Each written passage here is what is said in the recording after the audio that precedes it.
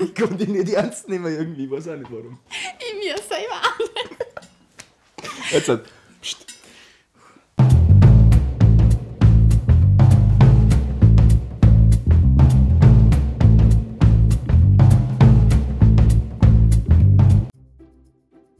Darf man als Bestattungsfachkraft Särgeprobe liegen?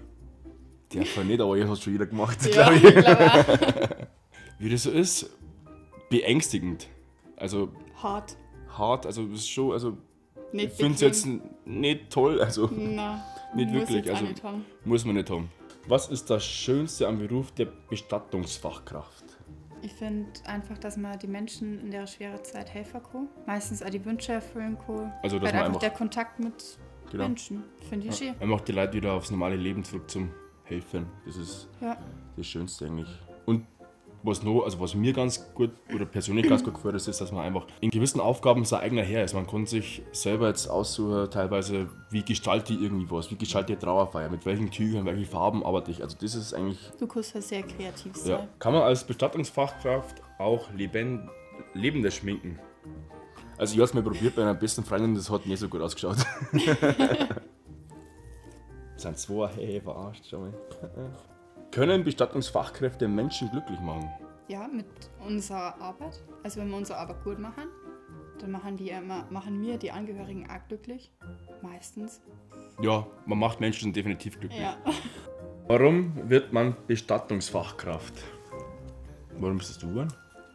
Ich bin es geworden, weil ich aus verschiedenen Situationen Erfahrung gesammelt habe. Zum Beispiel, wo mein Opa letztes Jahr gestorben ist, habe ich die Beerdigung mitgeführt und habe ähm, Step für Step das alles so mitgekriegt und das hat mich total interessiert. Und seitdem kann mir eigentlich nichts mehr anders vorstellen. Es ist sehr vielfältig, der Beruf. Und es macht mich heute aus. Alles, was in dem Beruf drin ist, mache ich gern. Ich schließe mich an. Ja. Fast die identische Geschichte, ja. Wie kann man sich weiterbilden als Bestattungsfachkraft? Man kann sich weiterbilden aus Maskenbildner. Man nimmt quasi, jeder kennt das von Kindergeburtstagen, wenn man sich ähm, ähm, Gips ins Gesicht ähm, äh, äh, klatscht und dann die Maske quasi wieder runternimmt.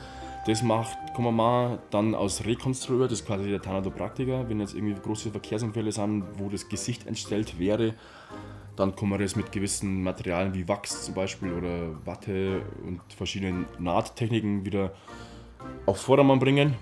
Das sind so die Fortbildungen. Darf man als Bestattungsfachkraft Angst im Dunkeln haben? Puh. Also, das habe ich früher gehabt, wenn ich durch den Friedhof gelaufen bin, aber jetzt ist das ja mein Arbeitsplatz. Also, ich habe da wenig Angst. Ich weiß auch nicht, warum du Angst haben soll. Also, nein, Also, sollte man nicht. Na, Also, du musst auch? halt auch abends auch, aber da ist ja dunkel. Also, weißt du, was ich meine?